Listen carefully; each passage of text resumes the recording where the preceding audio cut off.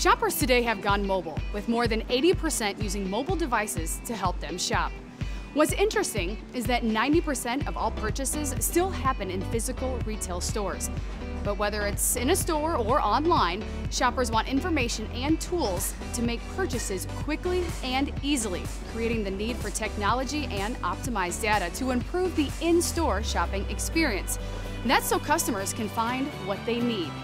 Now, Aisle 411 is building the Internet of Stores for retailers and brands bringing the digital sophistication of online shopping to the brick and mortar environment.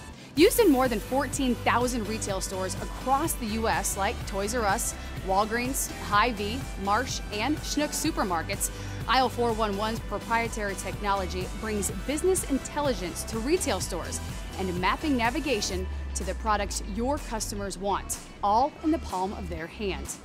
The technology layers store data and maps each product down to the exact shelf location, while allowing retailers to deliver context and location oriented offers to consumers at the point of sale and directing shoppers to other points of interest within the store. This business intelligence helps retailers and brands understand customer behaviors when visiting a store, where they go, how long they stay, and exactly what they purchase.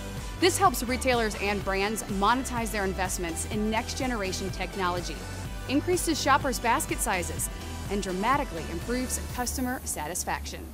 Whether it's using a smartphone to find products locally, navigating store aisles in augmented reality, or retailers and brands understanding shopper and merchandising analytics in store, our digital and physical worlds are colliding. And Aisle 411 is creating the Internet of Stores for retailers and brands to serve today's mobile generation of shoppers.